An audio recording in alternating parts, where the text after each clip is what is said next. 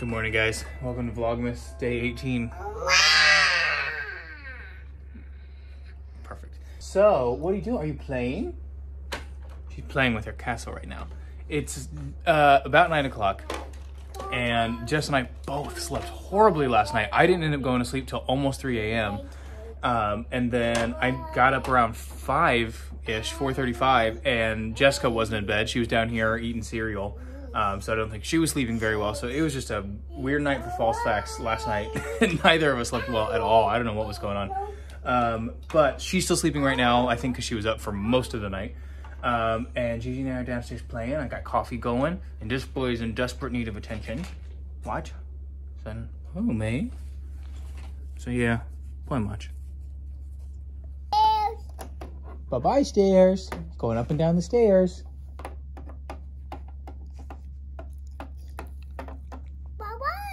Bye-bye. Bye-bye. Miss Elena going downstairs. What did you want to watch? News. Okay, we can watch the news. Today we don't have a babysitter, and so um, since Jess is sleeping in, which is totally fine because she needs to because I know that feeling of not getting enough sleep and it's awful.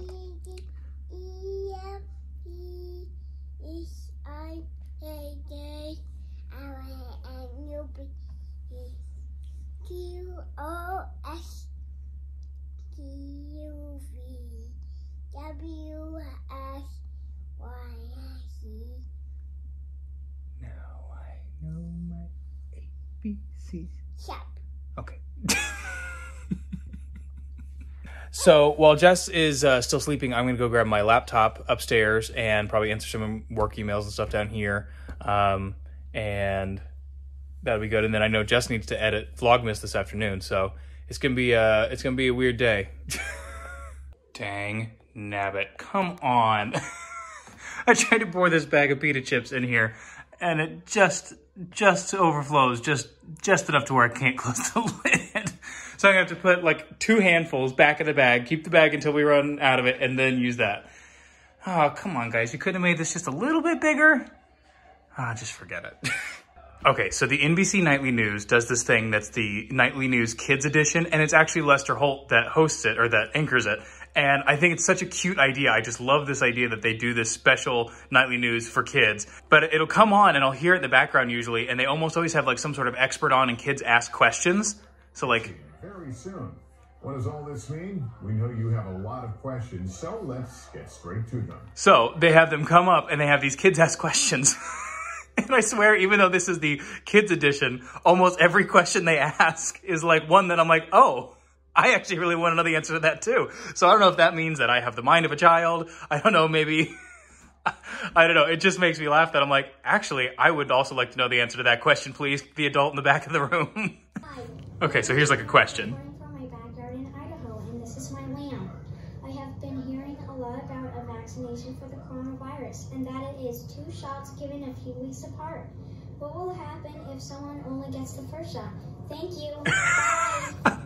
So like stuff like that. It just makes me laugh because like I'll hear that in the background. Usually I just have the news on and I hear that I'm like, actually, yeah. Well, what is the answer to that question? I just picture being in like a room full of adults and like kids are up in the front and like there's some sort of specialist up at the front and the kids are asking questions and the adults in the back like, yeah, uh, if you could uh, answer that question for the kids, for the kids, not for me. I just, but uh, if you want to answer that question for the kids. uh, anyway, all right, I'm making myself laugh. Also, for those of you who are also childlike in your wonderment, uh, the answer was that it's only it's like less than 50% effective if you only do the first shot, and they don't know how long it's even going to last because they didn't test it because it's a two-part shot, so they didn't even test how it would be if you got one. So, get both shots. That easy. Little Miss Gigi's trying to bring her little white noise machine. she unplugged it though. She said, can we bring this downstairs? I'm like, uh, well, we can, but it's not going to work. It has to be plugged in. Mommy will do that part though. Mommy will do the plugging in, okay? No, no, Genevieve. No. Okay, it is time to clean our duvet. I try to do it once a month, give or take. Um, and we've got some clean sheets on, so we probably should have done this at the same time, but oh well. So I'm going to go ahead and take this off and clean it. It is like the best feeling in the world. And then the cover under, or the actual duvet, which is, you know, under this cover, I don't wash quite as often because I don't, you know, obviously it's protected from like general dirt, but I do still wash maybe every other time because obviously it can still get dirty and dust mites, et cetera, et cetera, et cetera. So, oh, it's going to be a really good feeling having this clean. Panoke? What are you talking about? It's like 12.45 in the afternoon. It's like, I know, but I'm hungry. Oh, no, key boy. Um, so Jessica's upstairs editing Vlogmas right now. Um, and so I was thinking Gigi and I can make our world famous Thin Mint cookies where we do the melted chocolate with peppermint on Ritz crackers. It is unbelievably good. It's so easy. Um, so I'm going to start get getting this melted here, and then uh, Gigi can help me put it all together and actually make the cookies. Ooh, I might do pretzels too. That sounds good. Um, and then I'm watching uh, Rick Steves Europe because Rick Steves is my spirit animal. And it's like my favorite show of all time. It uh, for those of you that don't know, all the travel stuff on my channel basically was inspired when I was a kid by Rick Steves. I'm like, well, I just want to do exactly what he does for a living, and so that's how I started my travel channel after uh, Jess started her beauty channel. She's like, you should start one. I'm like, well, what did I do? And I'm like, travel. That's what I've always wanted to do. And so that's how it all got started. But this man right here is the OG, the best, the one and only Rick Steves. Okay. What you making? So, those little things I was talking about in yesterday's Vlogmas, the little folded things. Hey, I didn't realize I got sweet Hawaiian. I am not upset about this. I know. So, what I've done is I took like deli meat, like the kind you can get that's already cooked. Um, that's like grilled chicken. It's in the fridge, not the freezer one, although you can totally do it. Anyway, put those on there, and then I'm going to throw a little bit of cheese and a little ranch because uh, that's going to make it delicious. Uh, And then you just fold it, baby. are you going to eat it cold or are you going to warm I it already up? warmed it up. Oh, nice. So I might throw it in the microwave just a little bit longer to melt this cheese. Put a little bit of ranch. You don't need a lot of either, which is kind of nice, but it gives gives it that delicious A little pizzazz. Yeah, uh, and that's it. And it's going to be the best little lunch I've ever had. That's all. So if you're someone that ended up buying a StoryWorth subscription for someone in your life, I uh, can link the video below where I talk about it. I'm not going to get in too deep right now, but I made this PDF so that we can give it to the people in our lives we are giving it to uh, at Christmas, something to give them so that they know what it is. And so I made this and then I got some of the FAQs from the site and put it on there too. So if you want this PDF, it's generic enough, I can have Tyler put it on his website. So we can link it below.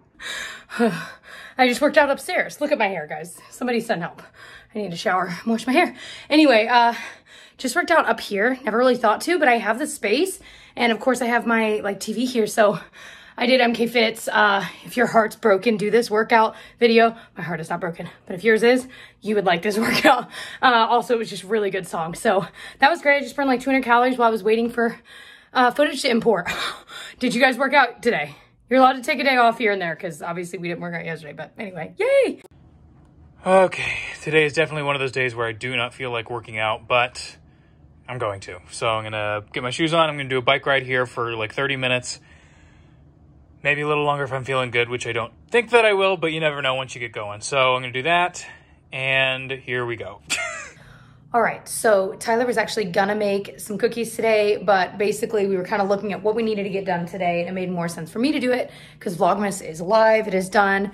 So he's working out currently, and I'm gonna knock this out because Gigi is napping, so it's a really good time uh, to do it. And really what we wanted to do, the one thing, if I only get one thing done cookie-wise today, I wanted to make my Thin Mints I make every year. It's a like Murphy family tradition, my family tradition, and it's really, really easy. So I'll show you how to make that. And then if I have time, we might do some chocolate covered pretzels or, and or some basically homemade tag-along cookies where you use a Ritz cracker, put peanut butter on top and dip it in chocolate. Those are some of my favorites. Those are, the, both the Thin Mints and the tag-alongs are dangerous for me to have because I could sit and eat like 30 of them, but we're gonna see how it goes.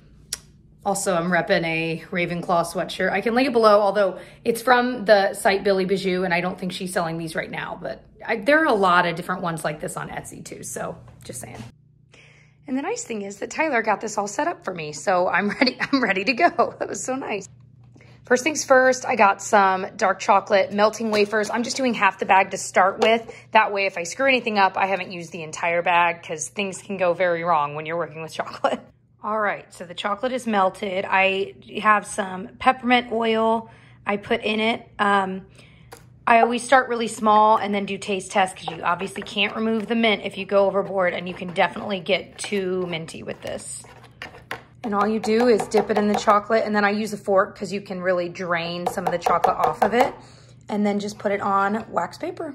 That's it. They'll just dry at room temp. You can put it in the fridge, in the freezer, and they last forever in the freezer. And they are absolutely just as good, if not better, than Girl Scout cookie Thin Mints. And you can also put like little sprinkles on them if you want and decorate them. And I'm throwing on a little bit of sprinkles and they're gonna be so good. And I'm watching Home Alone too. All right, another one I like to do are these like tag alongs. So we just put peanut butter on top of the Ritz cracker. Now, of course, this chocolate I did in a different bowl. It does not have mint in it. It's just the chocolate as it is. And then same thing, you just kind of stick them on the wax paper to dry. And these are so good and they also freeze really well. Okie dokie. I didn't want to do it, but I did it. So I did 50 minutes on our bike. Glad I did it. Also, I've realized, also don't pay attention to our wrapping mess over here. It's still a mess, obviously. Uh, but I've realized for me, one of the biggest uh, factors is if I have something good to watch on TV. And so I've been doing, uh, I've been working out while watching Shameless, which is a Showtime show. It's on Netflix too. Definitely uh, not safe for the whole family, but it's a really good show. And so I'm like, I'll do like a 50 minute workout if I know I'm watching something good. So definitely I love that show. Uh, but if you need motivation, maybe find a really good show that you know you want to watch every day, and that'll help give you the uh, impetus to get going on your uh, workouts.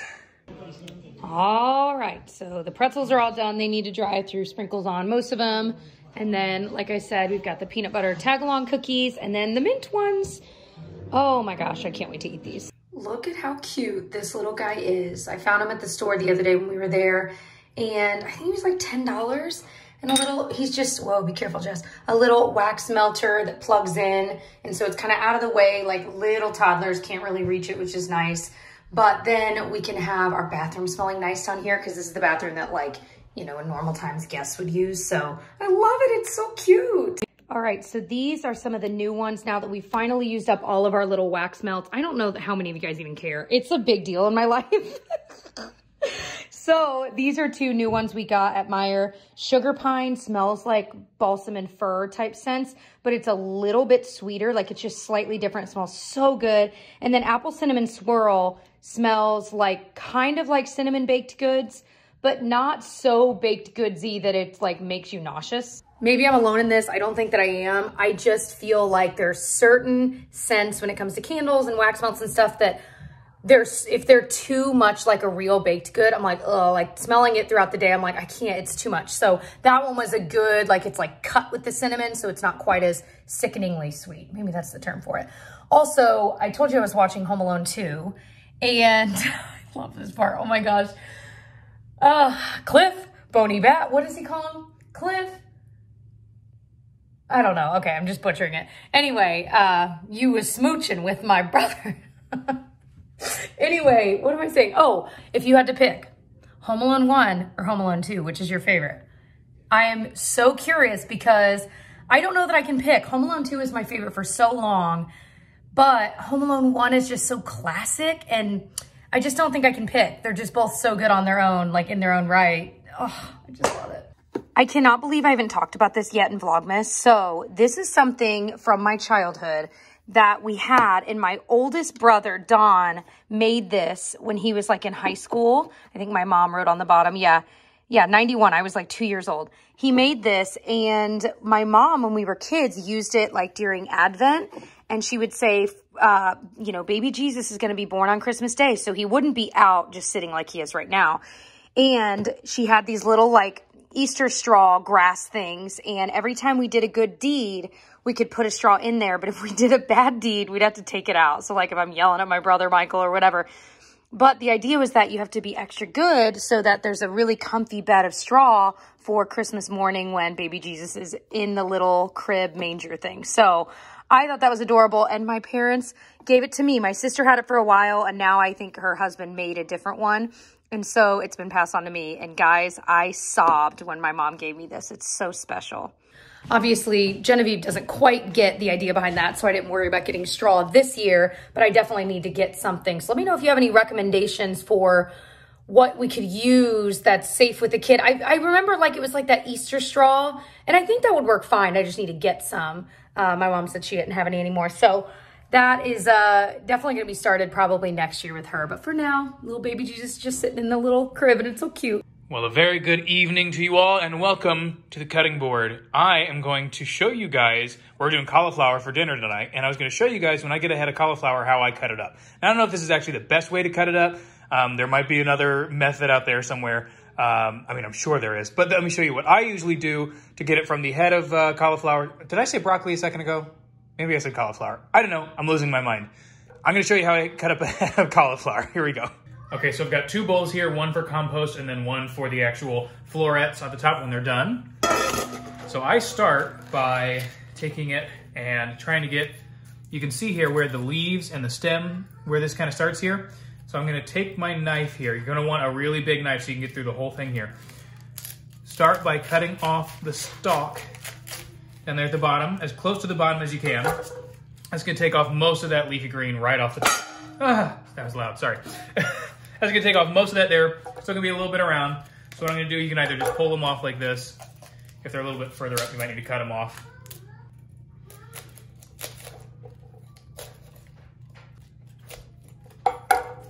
So the goal is to get rid of all the leafy stuff there around the edges until you're left with just the head of bro broccoli. I said it again.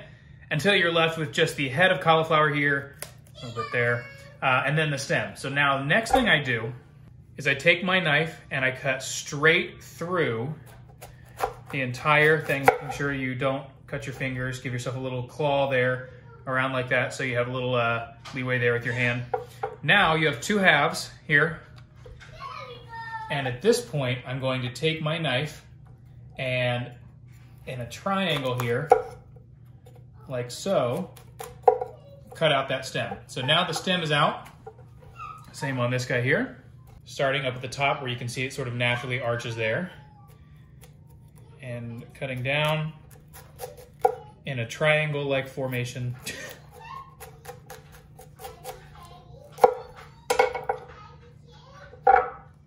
and you can pull that out. And there's your core gone.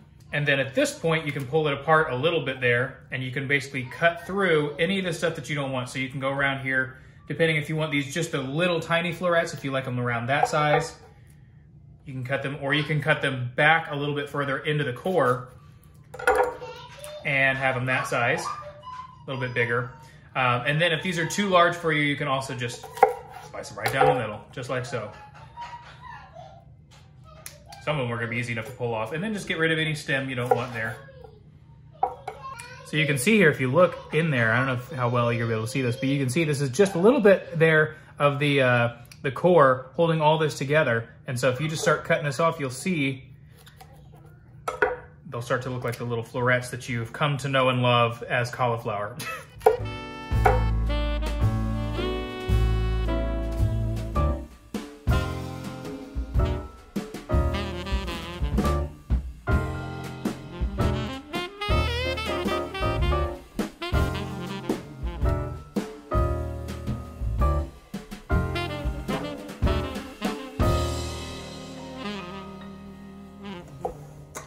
there you have it. There's your uh, cauliflower florets. Again, I don't know if that's the best way to do it, but that's the way I always do it. So now you have a method if you ever want to do it that way. Or you can tell me a better way. what do you need help with, Gigi? Okay, I will help.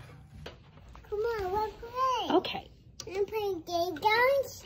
You want to do the fires? You want them to go in there? Okay. Okay. And got a ding dong. Oh, at the front door. We can do ding dong down here. All right, you be the boy. I'll be Daniel Tiger. Ding dong. Oh, okay. You gotta open the door. Ding dong. Anyone home? Oh. And Daniel got in. Hello. I'm playing in there. Um, where? Oh, where? What's wrong, Daniel Tiger? I'm Guy Shark. I'm Guy Shark. Daddy Shark. He's downstairs. He's Oh, he's downstairs. downstairs. How about Prince Wednesday comes? I downstairs. Okay. Let's go. Let's go down the house. Hmm. going in now. Come on, Gay Gay. Come on.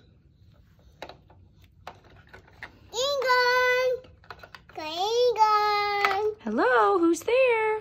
Come on. Let's. Okay. Okay. So what do you want to do today? Ingon! Ding dong. Got a ding dong at the door. Come on. Let's go. Let's go. Come on, Gay Gay. Day day for Wednesday. That's cute. Um, it's the next day. We totally forgot to say goodbye last night. I literally, yeah, I, I was. We were sitting. I'm like, did we film anything last night? And then we were like, we're too tired. So, hello and goodbye. It's the next day. And we've got And we're already rocking and rolling on the next day. busy. Yeah, we are. So, we love y'all. Sourdough, sourdough. That's what Just to look forward ready. to. That's kind of fun. We can give them a sneak peek because we've already lived part of today. filmed a decent amount of it. Yeah, so get ready. Bread, bread, bread, bread, Okay, bread. bye.